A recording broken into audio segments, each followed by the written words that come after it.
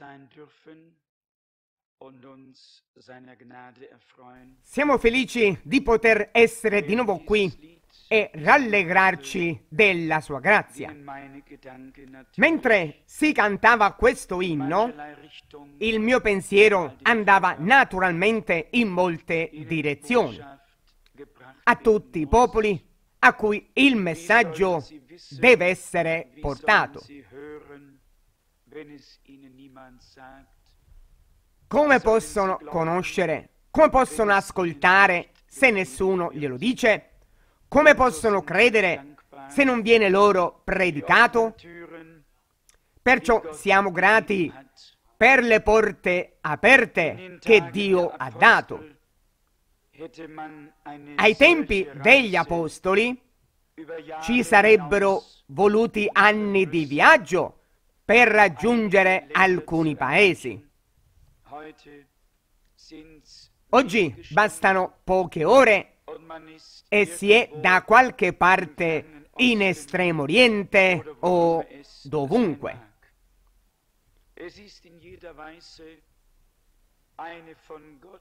È in ogni modo un tempo benedetto da Dio che dobbiamo sfruttare, che dobbiamo utilizzare e portare ad ogni costo la parola rivelata da Dio per questo tempo.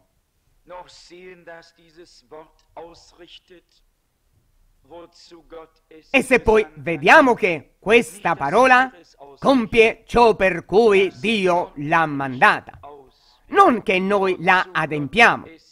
La parola compie ciò per cui Dio l'ha mandata.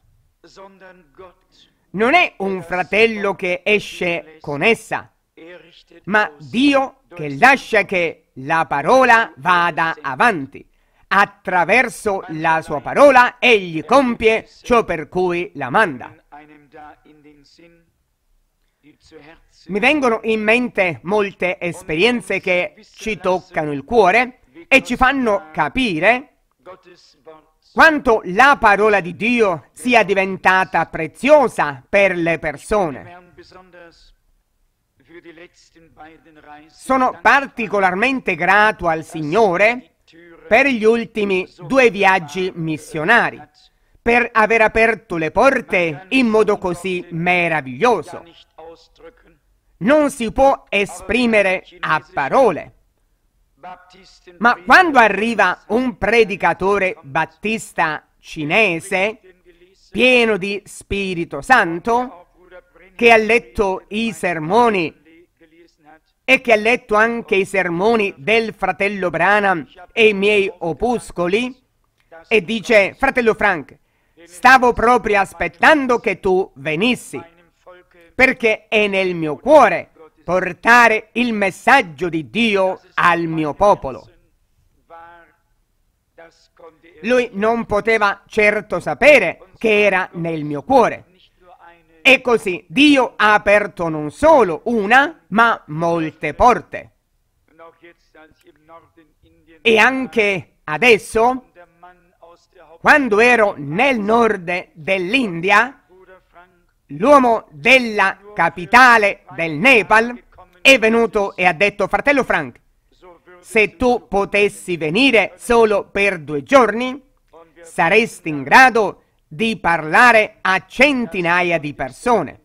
E noi lo stiamo aspettando e crediamo che Dio ti manderà. Prima di partire ora per il viaggio di febbraio, un mio fratello è venuto da Kinshasa, dallo Zaire, qui a Krefeld, e mi ha detto, fratello Frank, ci hai scritto abbastanza a lungo che saresti venuto. Dici ora le date in cui verrai, perché non posso tornare a casa senza dire le date. E così Dio apre le porte per far risuonare la sua parola fino alle estremità della terra. E quando il coro canta dalla Cina, dall'Africa, dalla Siberia, da ogni parte verranno tutti coloro che Dio chiama. Ma come chiama Dio? Dio ha sempre chiamato attraverso la proclamazione della sua parola. E in questi giorni abbiamo voluto sottolineare la differenza tra la fede generica che molti hanno e la fede nelle promesse di Dio per un tempo specifico. E spero che ce ne siamo resi conto. E oggi possiamo guardare intorno nelle chiese e tutti credono, tutti credono, tutti credono. Sì, il fratello Ross dice che ognuno crede ciò che vuole. Ma chi crede la parola rivelata da Dio? Come dice Isaia, chi ha creduto al nostro messaggio? E a chi è stato rivelato il braccio del Signore? Per questo siamo grati che Dio abbia rivelato le sue promesse per questo tempo e che le abbia messe nei nostri cuori. Sappiamo che in merito a Maria viene riferito, tu hai trovato grazia agli occhi di Dio e la promessa che il Signore ti ha fatto sarà adempiuta. E così è successo. E anche noi possiamo dire di aver trovato grazia agli occhi di Dio e che le promesse che Egli ha fatto al suo popolo per questo tempo si adempiranno. Non a causa vostra o a causa mia, ma per la volontà che Egli ha espresso e che ci ha incluso nel suo piano. Dopotutto, siamo diventati parte del regno di Dio. Siamo nati in esso attraverso la nuova nascita per partecipare a ciò che Dio sta facendo. Credo di avervi raccontato qui mercoledì sera quando questo vescovo metodista nel nord dell'India nel 1978 ha partecipato a un grande raduno di quasi 2000 persone. La gente partecipò, ascoltò il messaggio e in seguito vide anche il film del fratello Branham. Da allora lui aveva un grande desiderio di ascoltare di nuovo la parola del Signore. È stato lui a organizzare questa grande riunione nel suo distretto, ora a febbraio. Si è presentato alla folla e ha detto, oggi siamo qui per ascoltare ciò che Dio ci dirà attraverso la bocca che lui ha designato per portare la sua parola. E vi dico che nessuno può immaginare cosa sia successo. E quando si è accomiatato mi ha detto, ascolta, una cosa mi sta a cuore. Sto per essere trasferito in un altro distretto. Promettimi che quando tornerai onorerai il mio invito e verrai anche lì. Vi dico, non è arroganza, ma le persone non hanno cibo spirituale da offrire alla gente. Le persone vengono in una grande chiesa che può contenere forse 800 o 900 persone e poi 18 o 20 o 25 persone siedono lì con loro. E quando improvvisamente vedono che la casa è piena fino all'ultimo posto e che la gente deve stare in piedi e che la parola di Dio sta uscendo, allora riflettono così tanto da rendersi conto che si tratta di qualcosa di più di un semplice sermone banale, ma di un cibo spirituale, fresco, che non è già stato preparato in qualche momento, ma è appena preparato ora sulla tavola di Dio. E il Signore prepara per noi una ricca tavola per grazia, anche di fronte ai nostri nemici. Oh, quanto si potrebbe dire e riferire qui su ciò che Dio sta facendo in tutto il mondo, ma che l'eternità lo riveli. E comunque tutta la lode e la gloria appartengono al Signore, che realizza tutto in tutti. Oggi pomeriggio vorrei leggere brevemente dal profeta Isaia i primi versetti del capitolo 54. E tutti voi che aprite la vostra Bibbia potete dare una rapida occhiata agli ultimi versetti del capitolo 53. Qui dice dal versetto 1 Rallegrati, o sterile, tu che non partorivi, grida di gioia ed esulta, tu che non provavi doglie di parto. Poiché i figli dell'abbandonata saranno più numerosi dei figli di colei che ha marito, dice l'Eterno allarga il luogo della tua tenda e si spieghino i teli delle tue dimore, senza risparmio. Allunga i tuoi cordami, rafforza i tuoi picchetti.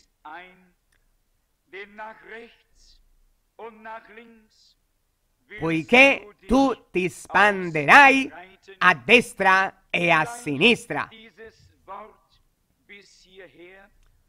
Forse fin qui questa parola.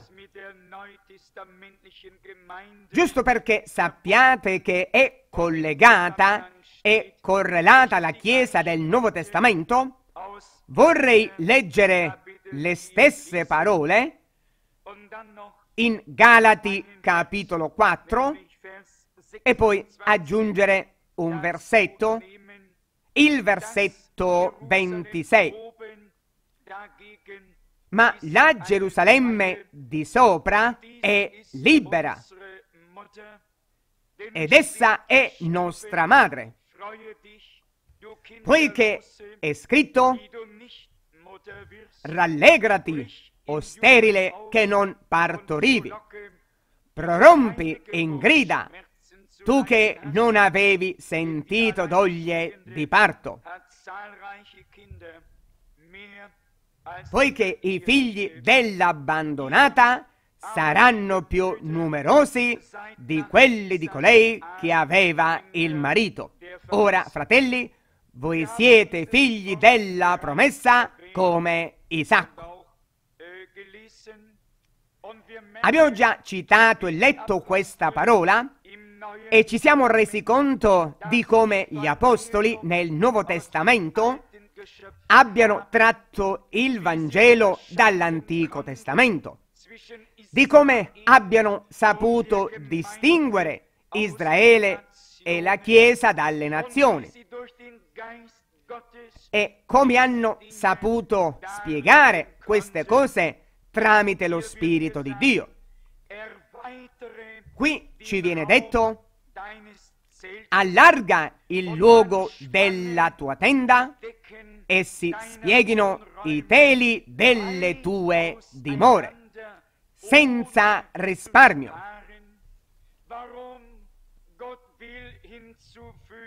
Perché Dio vuole aggiungere, Dio aggiungerà. E quando il coro ha cantato che sarebbe venuta una grande moltitudine, questo è in accordo con ciò che Dio disse effettivamente ad Abramo. Lui disse, guarda il cielo e conta le stelle. E poi il Signore diede ad Abramo la risposta e disse, come innumerevoli sono le stelle del cielo e la sabbia del mare, così innumerevoli saranno i tuoi discendenti. Gesù Cristo, il Figlio di Dio, non è morto in vano.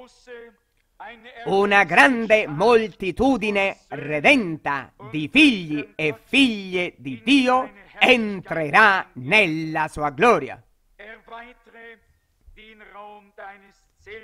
Allarga il luogo della tua tenda e si spieghino i teli delle tue dimore, senza risparmio. Conosciamo tutti i programmi di austerità, ma Dio non introdurrà mai un programma di austerità. Dio ha la pienezza e dalla sua pienezza trarremo grazia sopra grazia fino alla fine e lo ringrazieremo per questo. Allunga i tuoi cordami, rafforza i tuoi picchetti, poiché tu ti spanderai a destra e a sinistra. Dio è in grado di fare tutto questo. E quando lo dice con le sue parole, accade senza alcuno sforzo da parte vostra o da parte mia. Allora dobbiamo soltanto credere che ciò che lui ha detto si realizzerà e si realizzerà per noi. Lo vediamo come esempio nel popolo naturale di Israele e vediamo come si è diffuso a destra e a sinistra. In ogni battaglia sono state conquistate nuove terre. Noi dobbiamo essere in grado di dire lo stesso e sappiamo di essere in una battaglia spirituale.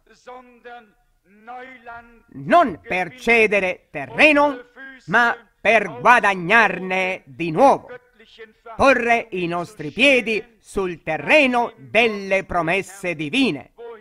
Secondo la parola del Signore, ogni luogo che la pianta del vostro piede calcherà, io ve lo do.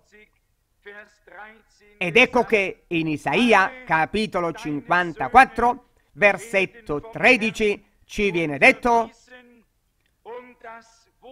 tutti i tuoi figli saranno discepoli dell'Eterno e grande sarà la pace dei tuoi figli.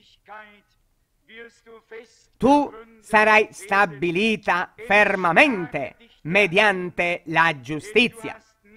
Sarai lontana dall'oppressione, perché non avrai niente da temere, e dalla rovina, perché non si accosterà a te. A questo Dio collega una promessa per confortarci, per sollevarci e per dirci cosa può servire a fortificare la nostra fede.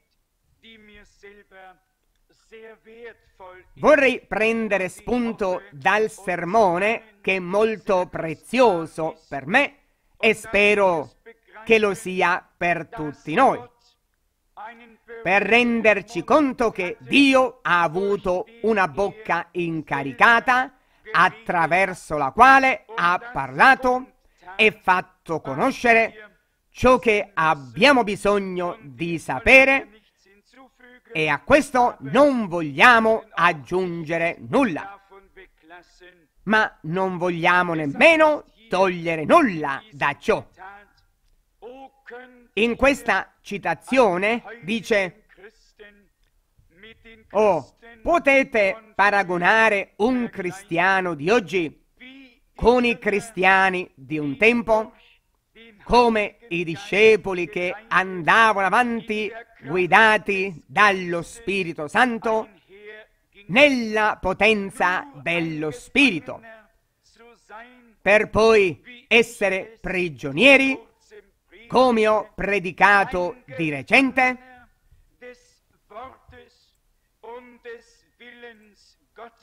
un prigioniero della parola e della volontà di Dio.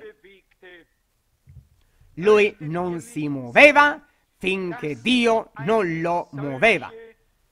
Non vi piacerebbe vedere sorgere una chiesa come quella? Lei lo farà e tornerà lì. Deve accadere. È vero, è già in cammino. Anche questa è una dichiarazione meravigliosa. Paolo non era prigioniero delle circostanze. Lui era prigioniero di Gesù Cristo. E dice, anche se sono stato messo in catene, la parola che predico non è in catene. Al contrario, la parola di uno che si presenta come prigioniero del Signore può servire a sciogliere coloro che sono legati e a liberare coloro che sono incatenati, se la credono e se l'ascoltano. Così è stato nel caso di Paolo. E io comincio a desiderare un po' di quello che lui e altri hanno avuto.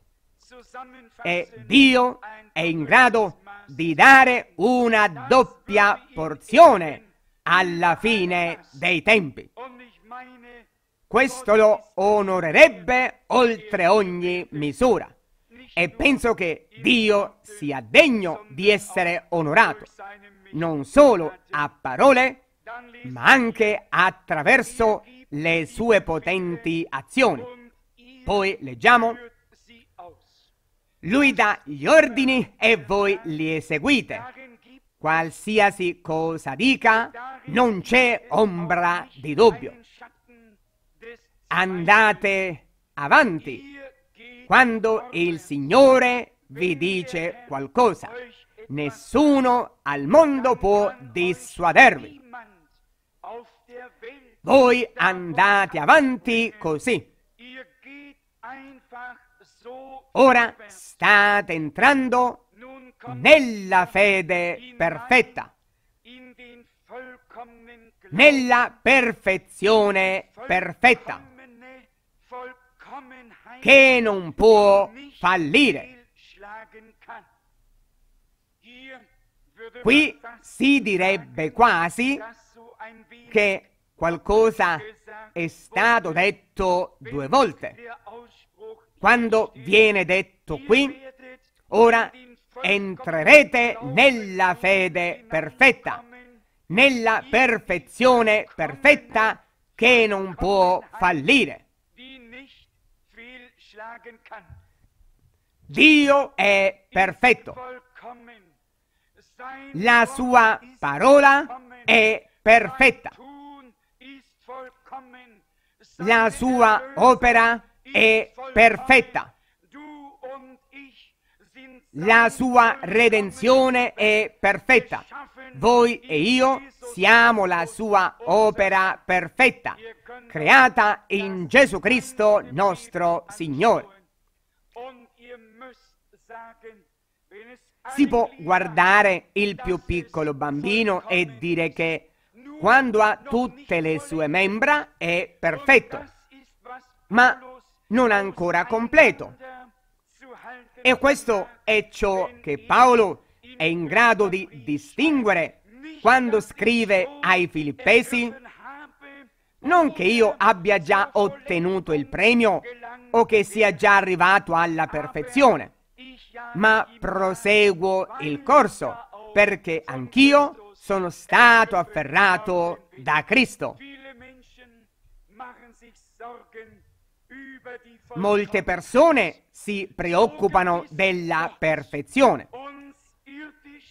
Così come Dio ci ha certamente creati perfetti a immagine di Adamo sulla terra, Dio ci ha certamente creati perfetti figli e figlie di Dio in Cristo attraverso la nuova nascita e non manca nulla. Naturalmente stiamo ancora crescendo e non abbiamo ancora raggiunto la perfezione. Ma dobbiamo renderci conto che siamo ciò che Dio ci ha fatto essere. Come nel naturale, così anche nello spirito. E qui dice che non può fallire. Questa fede non può mai fallire. La fede che viene dalla parola perfetta e che viene dalla predicazione attraverso l'opera perfetta dello Spirito Santo in voi e in me non è un ragionamento della mente, ma è stata operata da Dio in voi e in me. E allora tutto diventa possibile. E Dio aspetta di confermare questa fede. Io leggo, sì, egli era un mistero per loro con la sua fede perfetta. Così è ora per coloro che hanno una fede perfetta. Loro sono un mistero per gli altri.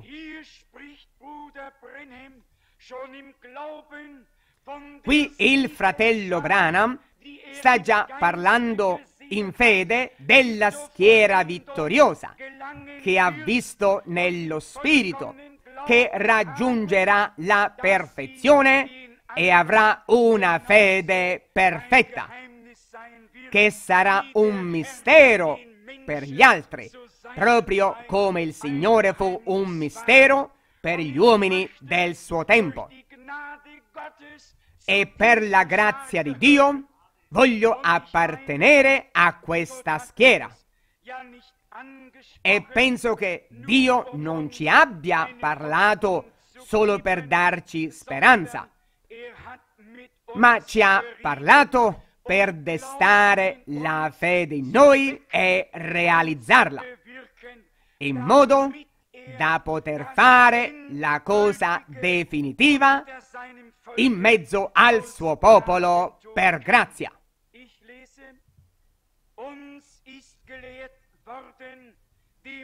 Qui leggo, ci è stato insegnato a resistere al diavolo ed egli fuggirà da noi. Resistere significa semplicemente respingerlo. Resistere significa semplicemente allontanarsi. Dio sta dicendo qualcosa di preciso, indipendentemente da quello che Satana cercherà di dirvi. voi non lo ascoltate. Le vostre orecchie sono sorde a tutto tranne che a ciò che Dio dice. Chi ha orecchi per udire, comprenda ciò che lo Spirito dice alle chiese.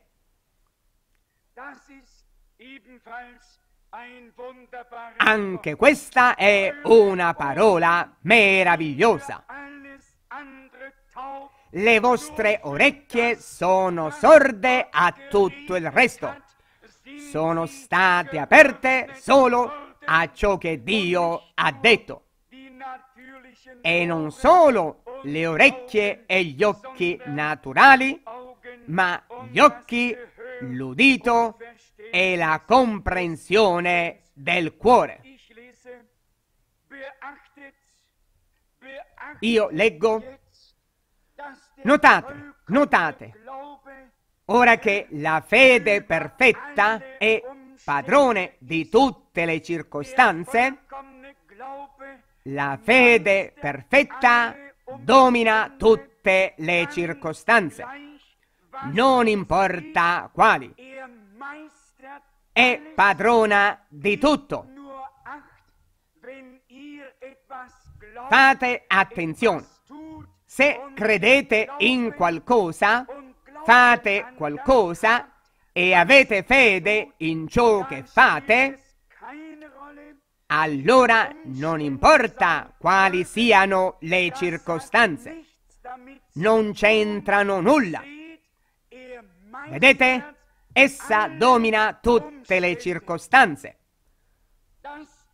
Questa è la fede di cui il Signore vuole parlarci, di cui ci ha parlato. Fate attenzione. La fede perfetta è padrona di tutte le circostanze. Padrona in ogni situazione.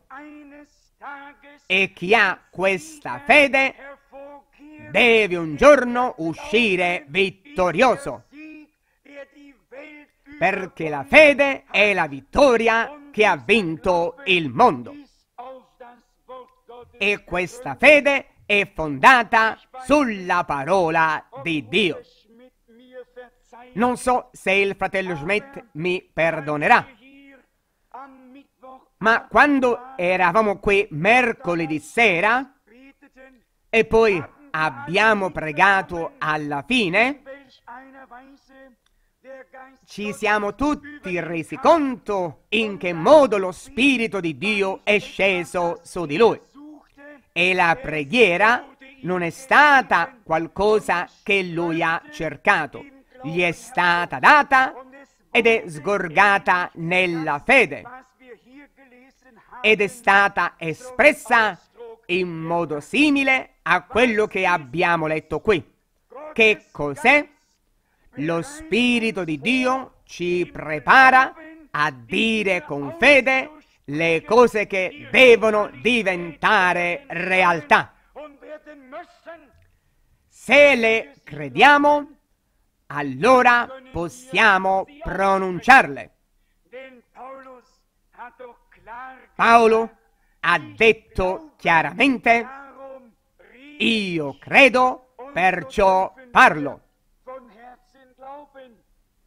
E così possiamo credere con tutto il cuore. Ora arriva un'altra citazione che dovremmo ricordare. Fede e amore sono collegati. Perché non si può avere fede se non si ha amore. Perché si crede in un Dio che è amore per natura. Ecco, appunto, crediamo in un Dio che è amore per natura. E quando questo Dio, che è amore, opera la fede in noi attraverso il suo spirito, allora la fede è incorporata in questo amore divino. E soltanto allora Dio può manifestarsi. Si legge ancora in questo testo, la fede e l'amore operano insieme. Fede e amore operano insieme. Il fratello Branham continua dicendo che l'amore porta alla fede. Quando Satana ci tenta, allora dobbiamo resistergli con una fede perfetta nella parola perfetta, come ha fatto Gesù. La parola di Dio è perfetta. Dobbiamo avere una fede perfetta in questa parola perfetta e resistere a Satana. Qui le cose perfette sono messe in fila, messe insieme, per mostrarci ciò che è necessario affinché avvengano le cose definitive che Dio ha promesso.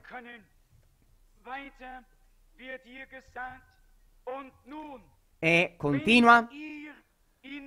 Ora, se dimorate in me, attraverso di lui, il quale vi ha portato la parola, e le mie parole dimorano in voi, allora camminate proprio come lui. La potenza sgorga da voi, i flussi di benedizione provenienti dalla fonte di Dio si riversano sulle persone.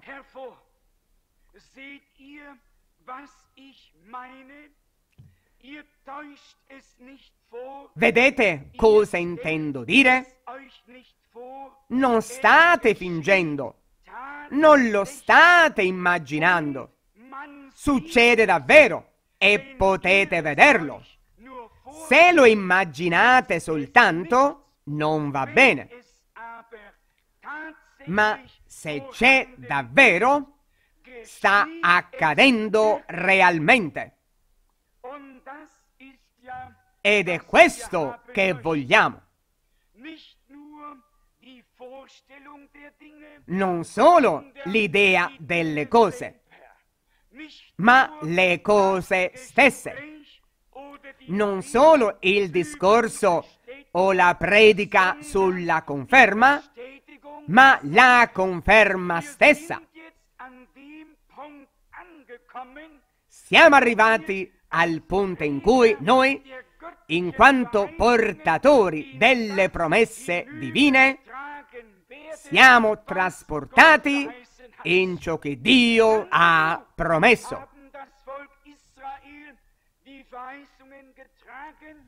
Il popolo di Israele ha portato la promessa abbastanza a lungo e poi è arrivato il momento del compimento. E sapete come Caleb, l'unico che era uscito 45 anni prima, ha potuto dire la mia forza è la stessa oggi come 45 anni fa, quando abbiamo esplorato il paese. Lui ha portato la promessa nel suo cuore per 45 anni e ha detto sono pronto ad andare in battaglia e a tornare dalla battaglia. Lui non ha detto sono pronto a uscire e se cado potete seppellirmi. Lui aveva fede per uscire e fede per vincere, fede per tornare. E noi esattamente allo stesso modo.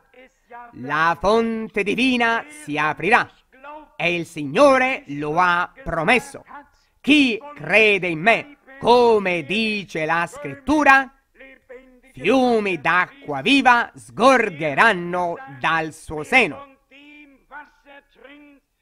Lui ha detto, chi beve dell'acqua che io gli darò, diventerà in lui una fonte d'acqua che scaturisce in vita eterna.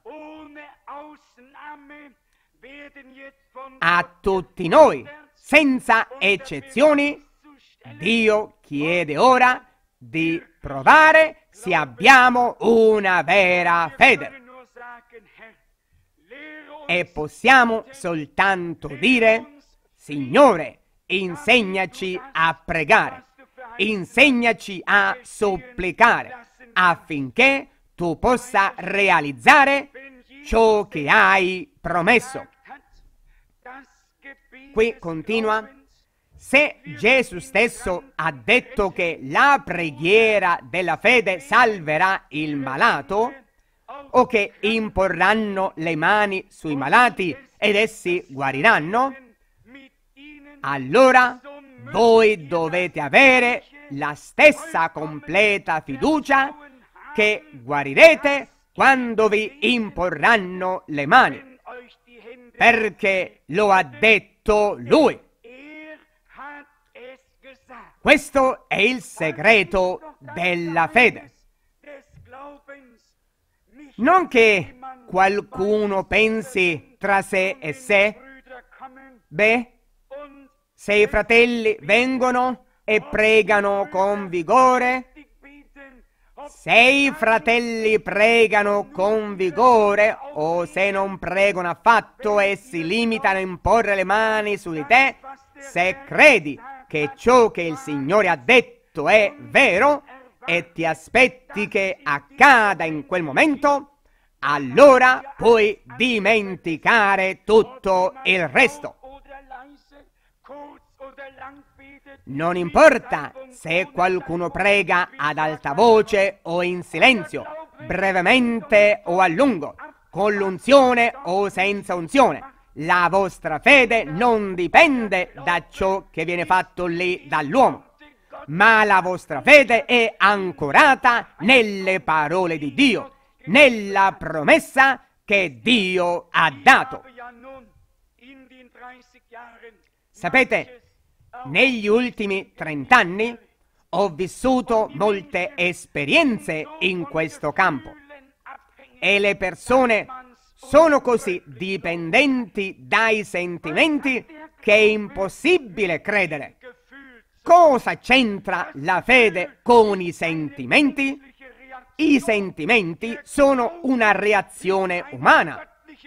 La fede è una reazione divina un eco della parola rivelata nel vostro e nel mio cuore. Dobbiamo quindi imparare a credere come il Signore ha detto. Qui il fratello Branham fa la seguente dichiarazione. Amici, l'ho visto. Questa Bibbia è qui aperta davanti a me. Io l'ho visto, so che è la verità. Ne sono consapevole. Il Dio del cielo sa che potrei non vivere abbastanza a lungo per finire questo messaggio.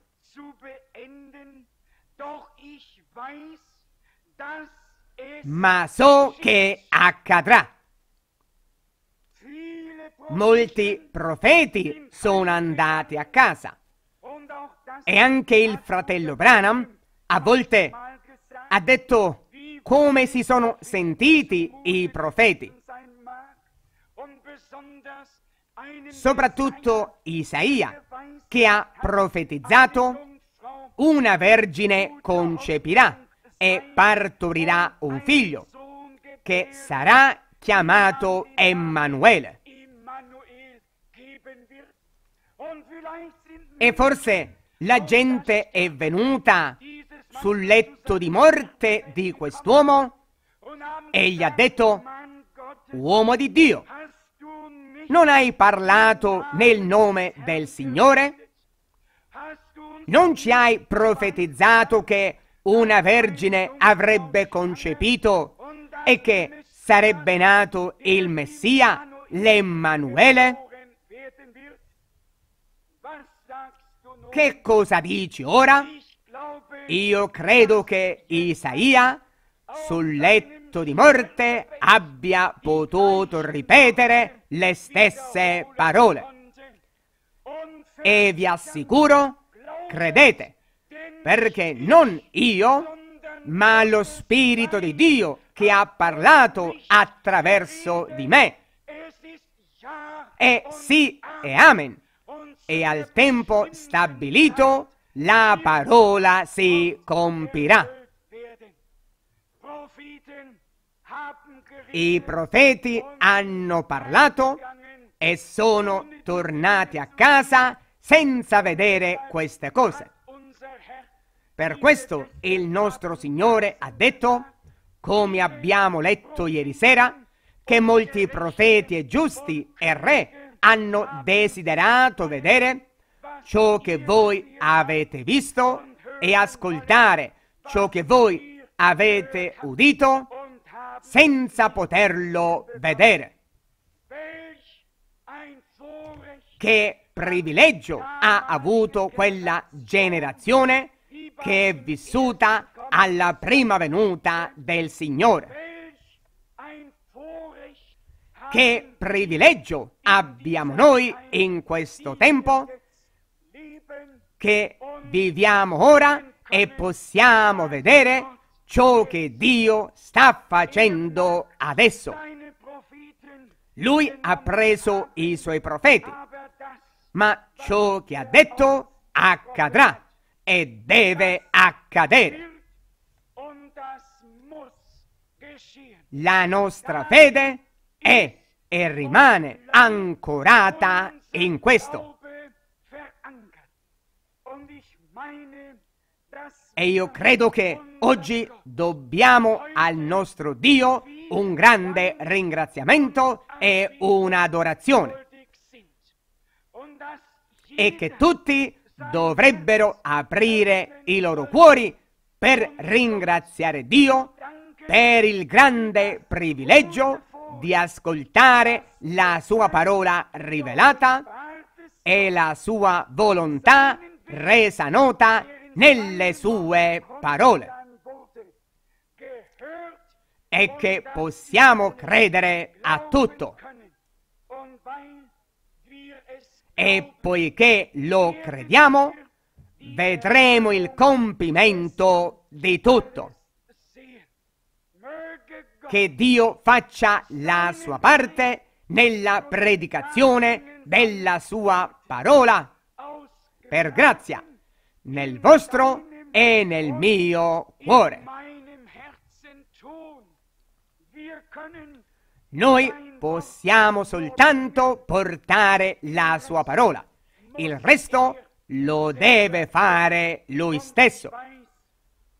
E io so che lui è presente per fare ciò che ha promesso.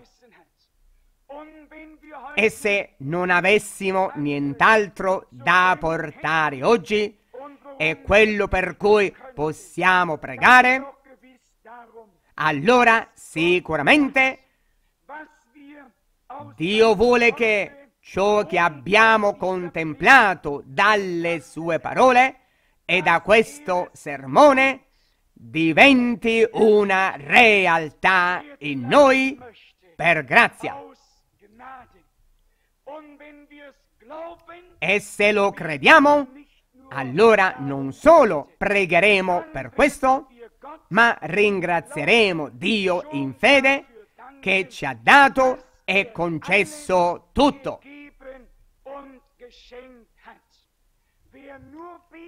Chi si limita a pregare e non lo esprime con fede, come se fosse già avvenuto, non può riceverlo. Ecco perché l'intero sermone è incentrato sul testo di Marco capitolo 11. wir glauben sollen, dass Dobbiamo credere che ciò che diciamo accadrà davvero e poi ci sarà dato. Wenn du Se avete fede, allora sarete in grado di dirlo. La fede è nel vostro cuore e la testimonianza esce dalle vostre labbra e il Signore ne sarà onorato. Sia lodato il suo meraviglioso e santo nome. Amen.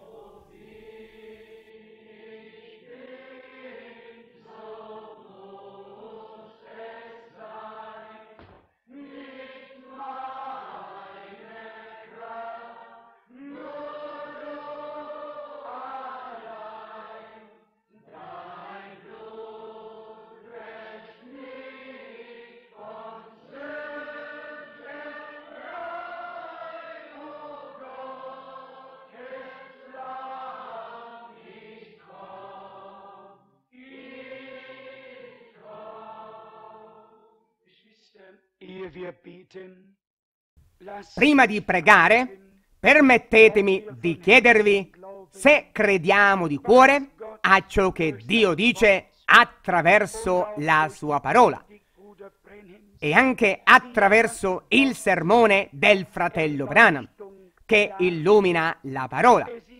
Non è altro che la parola di Dio illuminata e rivelata dallo Spirito Santo. Se possiamo davvero credere e allontanarci da noi stessi, che siamo dimentichevoli e deboli, e guardare a colui che è perfetto, da cui è venuta la parola perfetta e che si è impegnato a portare a compimento la sua opera. Possiamo credere oggi in questo luogo dove la parola di Dio è venuta così spesso a noi, dove i fiumi di benedizione sono scesi e il Signore ci ha parlato? Possiamo credere er a ciò che ci ha detto nella sua parola? Allora dichiariamolo ora in una preghiera comune. E se qualche fratello vuole pregare ad alta voce per un momento, uniamoci tutti, ma che nessuna bocca rimanga chiusa e nessun cuore chiuso, ma che tutto e tutti si aprano. Siamo in dovere di ringraziare Dio.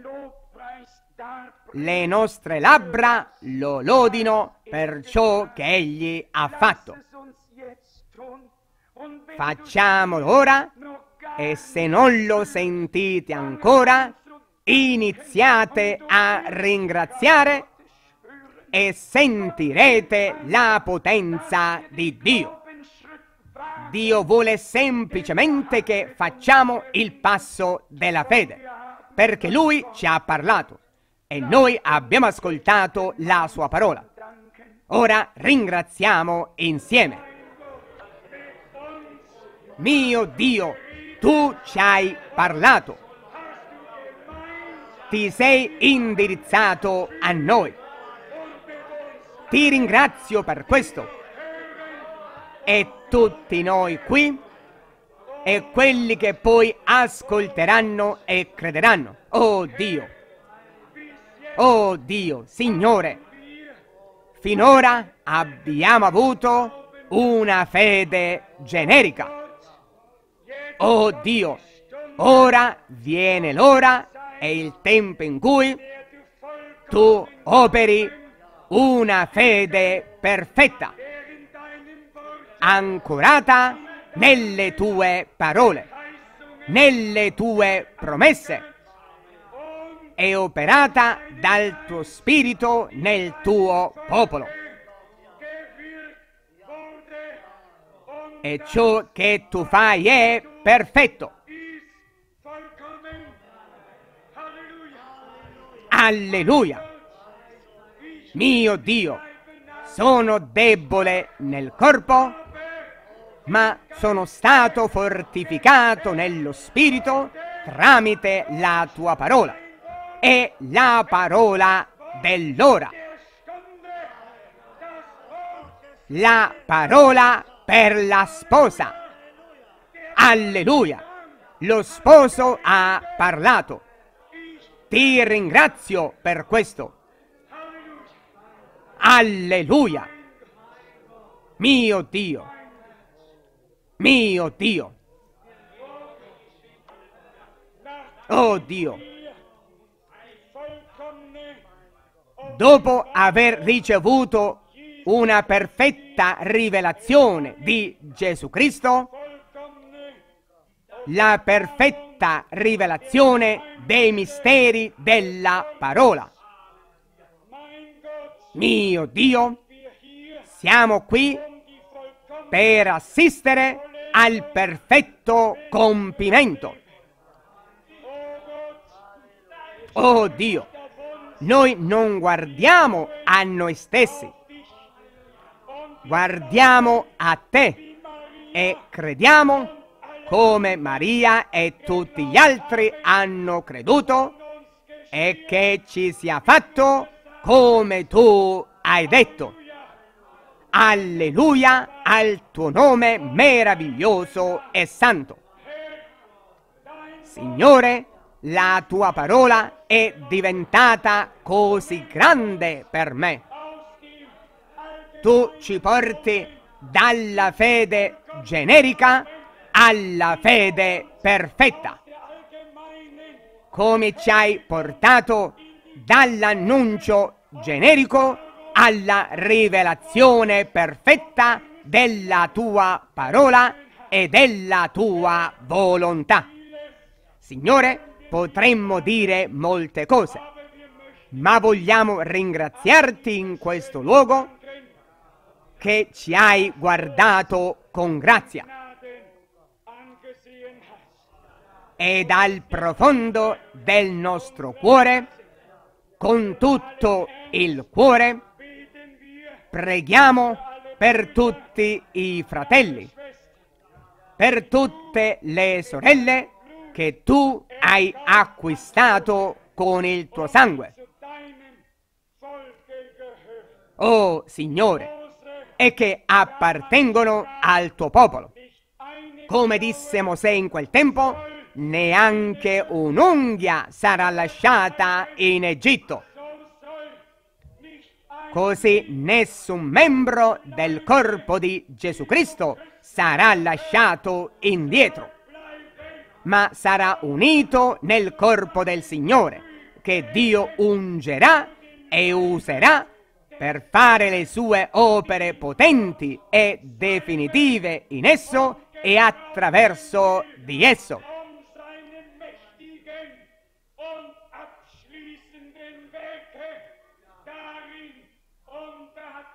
Ti ringrazio e ti lodo per il collegamento che possiamo avere con te.